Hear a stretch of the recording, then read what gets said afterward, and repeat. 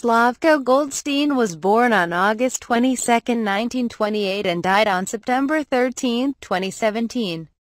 He was a Croatian Jewish writer, publisher, and politician. Goldstein was born in Sarajevo.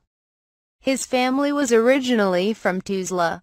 He spent his childhood in Karlovac, where his father Ivo was notable bookseller. At the beginning of the Second World War, his father, Ivo, was murdered by the Ustase at the Jadovno concentration camp. Slavko, his mother Lee, and his brother Daniel Danko escaped and joined the partisans with whom they stayed until the end of the war. Slavko was an active member of the combat units. Lee Goldstein was a nurse, and Danko was a courier. When the war ended, Slavko was a 17-years-old lieutenant.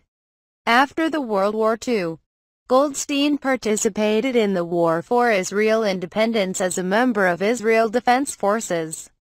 He lived a few years in a kibbutz. In the mid-1950s he returned to Yugoslavia. He studied literature and philosophy at the Faculty of Humanities and Social Sciences in Zagreb, but he never graduated. Goldstein worked as a journalist, editor and writer in many Croatian newspapers.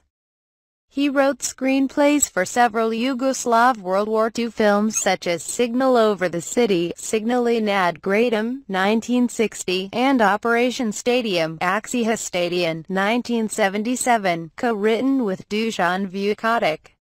He edited more than 150 books, and as a publisher, he worked on about 400 titles. Goldstein identified as Yugoslavian. From 2001 to 2005 he was the president of the Council of the Jasenovac Memorial Center. He was a founder of the Croatian Social Liberal Party HSLS and was the party's first president from 1989-90.